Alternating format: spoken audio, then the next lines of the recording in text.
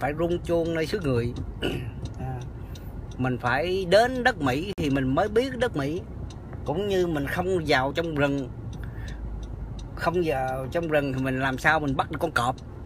À, chân lý của người cộng sản nó rất là hay rất là tuyệt vời. Mà những người chống cộng cực đoan ở bên Mỹ họ không bao giờ học được.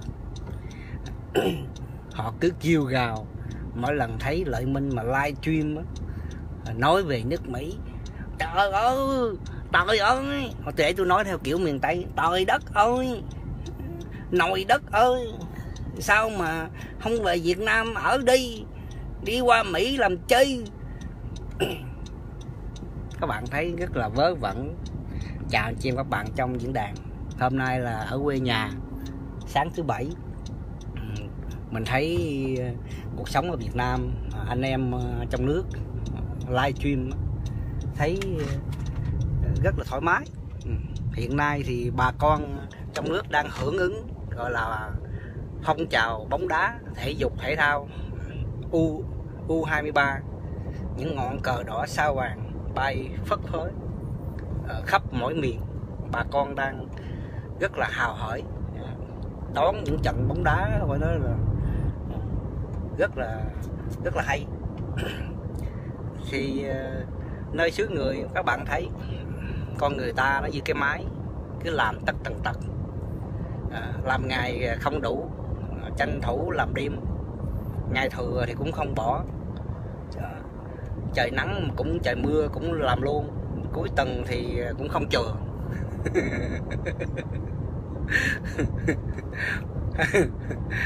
Cài thì như trâu như bò còn không mà cài được á, thì phải đi ờ, xè tay ra. Xin ờ, xin bố Mỹ xin phúc lợi của Mỹ. À, tôi thấy có mấy ông bao que mấy ông mà chống cộng bên Mỹ lên uh, vô trong uh, những uh, những cái livestream của tôi cứ nói là cộng sản không có biết lo cho dân. À, ở đất Mỹ á, người Việt Nam người ta mới qua người già cũng được lo cũng được uh, cho ăn uống đầy đủ. Cái đó là chuyện bình thường thôi. Thì có hàng triệu người đóng thế vào thì mình qua xứ người ta mình ăn người ta. Bởi vì thằng Mỹ nó cốc đầu như con chó.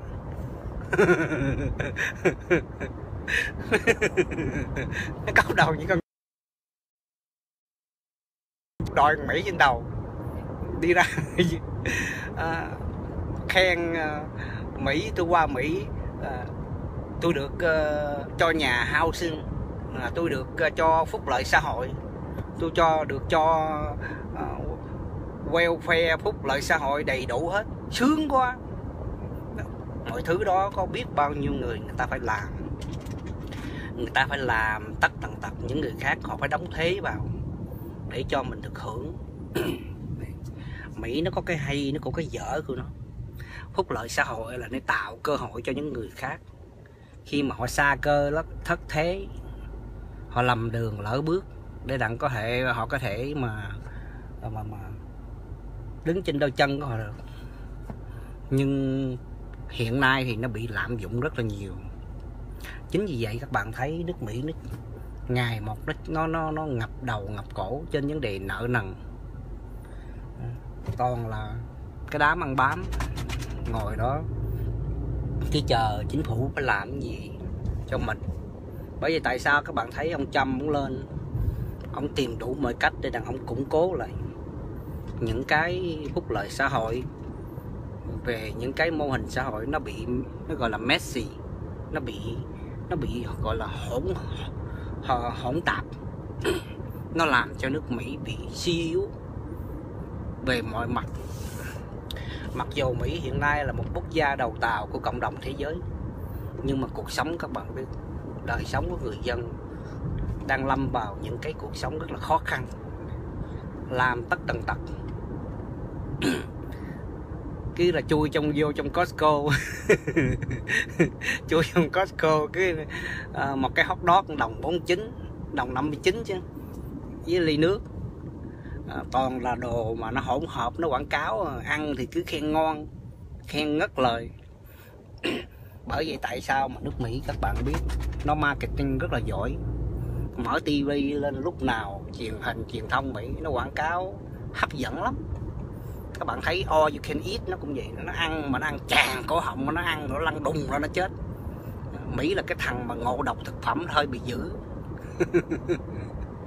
trong khi có con con cá rô ở bên việt nam, như hôm qua tôi live stream, anh chị các bạn thấy, một con con, một con cá rô có bằng ba ngón tay thôi. Mà hai đồng 36 xu.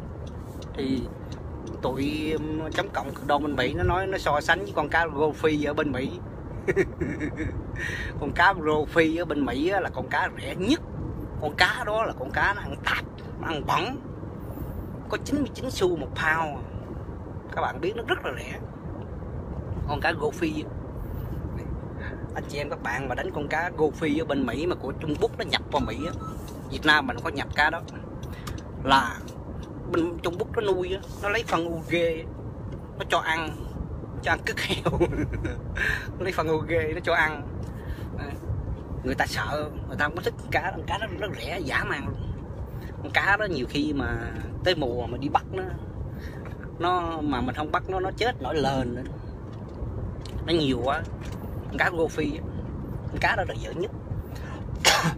Còn con cá salmon các bạn biết ở bên Mỹ không biết cái trong Costco nó bán mà nó cũng bị nó bị con con con dời bò lúc chút lúc chút lúc.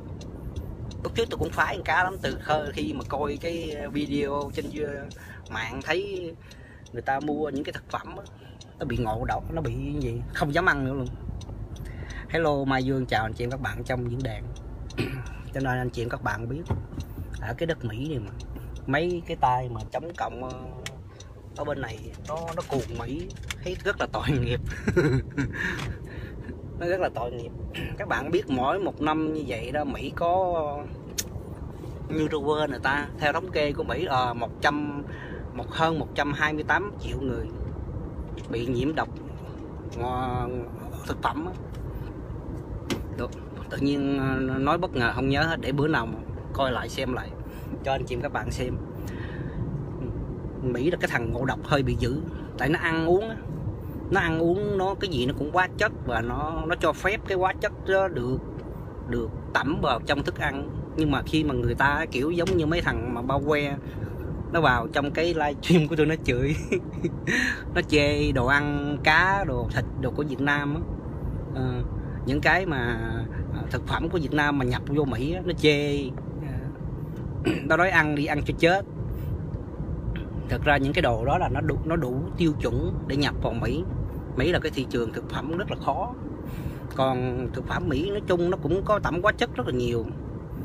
À, thì nó cho phép cho phép mà khi người ta bị lạm dụng các bạn biết anh chị em các bạn khi người ta lạm dụng thì nó nó bị trở thành ngộ độc cho nên mình đừng nghĩ là ở Mỹ rồi thấy cái gì cũng sạch nó có tụi FDA là Food Administration đó. cái tụi về thực phẩm đó. mình mình thấy nó ở nó kiểm rất là là kỹ nhưng mà nó kiểm nhiều khi nó cũng kiểm qua lo nó giống như nó nó, nó random đó. nó kiểm nó đột sức hay lâu lâu vậy đó thì nó bắt được nó phạt vậy thôi mà người ta nhiều khi cũng làm ẩu cho nên nếu mà đánh ở trên mạng về những cái nhà hàng hay là những cái chợ những cái nơi thực phẩm mà lâu lâu tụi tụi bên ngành thực phẩm mỹ đó bên cái bộ thực phẩm mỹ đó, nó đi kiểm đó, nhiều khi nó cũng phạt nó phạt thì cảnh cáo rồi lâu lâu rồi cũng bị. Rồi ờ, phạt rồi thôi rồi cái làm lợi sửa sửa phạt phạt rồi sửa sửa làm lại ờ, nó cũng messy. Nhưng mà hồn ai nó giữ rồi. Ờ, tại sao? Bởi vì bên mỹ nó có những cái những cái người gọi là counselor những cái người gọi là, là ta làm về bên analyze người ta analyst cái thị trường về thực phẩm này kia. Cho nên người ta lên mạng rồi ớ, lên truyền thông rồi người ta dạy. Ăn uống phải như thế này thế này thế này. À, phải ờ, tiêu nó nó vừa phải và nó ờ, không nên lạm dụng nó. Cho nên các bạn cũng thấy Mỹ là một cái quốc gia mà nó xảy ra những cái bệnh tật trên thế giới này không thể ngờ được. Những cái bệnh tật hiện nay rất là, là khủng khiếp nó bị ảnh hưởng về vấn đề môi trường, thức ăn, thực phẩm. Mà thấy Việt Nam thấy ờ, nhìn thấy bụi bặm, mà dơ vậy đó mà ăn đó, ai lăn đùng mà chết đâu, khỏe như con voi vậy. Giác bao gạo, bao thóc ờ, 50 kg trăm kg mà chạy cà còng cà còng cà còng. Nhiều nhiều thanh niên tôi thấy chạy cà còng cà còng. Người ta làm, người ta ừ, sống nhìn thấy nó dơ bẩn nhưng mà cái, những cái đó nó không có cái vi khuẩn đến nỗi mà quá quá quá mức mà giống như những thành phần mà chống phá đất nước, tụi nó xuyên tạc. Tại sao nhiều người Việt kiều mà đi về Việt Nam mà hay ngã bệnh? Tại vì họ ăn uống mà họ không có đủ cái chất kháng sinh đó. các bạn biết kháng sinh ở bên Mỹ nó yếu. Mà khi về Việt Nam họ thay đổi cái môi trường họ chống họ họ bị ờ, xáo trộn cái cái cái cái lối sống của họ. Về cái thực phẩm á, thì họ bị sốc. Nhiều khi nhiều người họ bị ngã bệnh cho nên những ai mà ở nước Mỹ mà lâu năm á, mà về Việt Nam mà còn phải mua những cái loại thuốc mà gọi là ờ, để chống những cái đó để là mình mình dự phòng chứ phải chống mình dự phòng vào trong tiệm hoặc là chích thuốc. Mỹ nó cũng khuyến cáo trên cái bộ mà với ờ, mà mà mà cái bộ mà gọi là bên y tế á, cho những người mà du lịch nữa nó cũng khuyến cáo để đặng mà để đặng mà mà mình phải đề phòng và ngừa. Tại vì mỗi quốc gia nó có cái ờ, môi trường khác nhau. Nhiều khi cái ô nhiễm của môi trường thì nó phù hợp với cái lối sống thiên nhiên của cái ở xứ Mỹ mà mình đi về Việt Nam đó thì mình bị thay đổi. Giống như các bạn, tôi lấy ví dụ giống con cá các bạn. Thay đổi nó từ ở cái môi trường nước này qua cái môi trường nước kia. Biết là con cá đó. nhiều khi nó cũng phải bị sốc, cho nên mình bỏ con cá mới vô cái hồ khác. Mình phải gọng nó vài tiếng đồng hồ cho nó hòa nhập với cái cái nhiệt độ và cái cái môi trường nước. Chứ mình thả ra liền nó bị sốc. Thì mấy cái thành phần mà chống phá đất nước tụi nó hay lợi dụng, nói chung là tụi nó lợi dụng bất cứ những cái bất cập của xã hội Việt Nam thì nó lên án. Bắt đầu nó chê Việt Nam. Nó chê Việt Nam đủ thứ. Mà khi tôi chia sẻ thì bắt đầu tụi nó, trời ơi, sao không về Việt Nam ở đi? Nó xấu nước Mỹ của tôi. Ớn cái trà đậu. Sao lại nói xấu nước Mỹ của tôi? Thật ra ở Việt Nam có nhiều tại nhiều người họ không biết.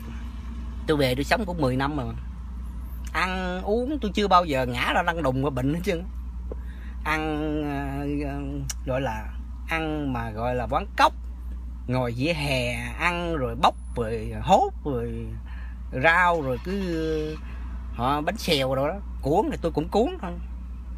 Có chết tay rồi đâu. Chết tay rồi ngay cả con tôi tôi dẫn nó về, còn tập nó được. Nó về không có đứa nào bị bị bệnh. Hai đứa đi. Năm nào tôi cũng dẫn hè chơi. Không có đứa nào bị bệnh. Tại vì nó ăn uống mình dạy nó. Mình chỉ nó, mình hướng dẫn nó.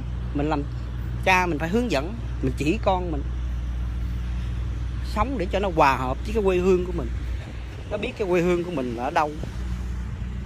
Nhiều khi cha mẹ qua bên này rất cần tập con cái nó cũng bị mỹ đồng quá hết.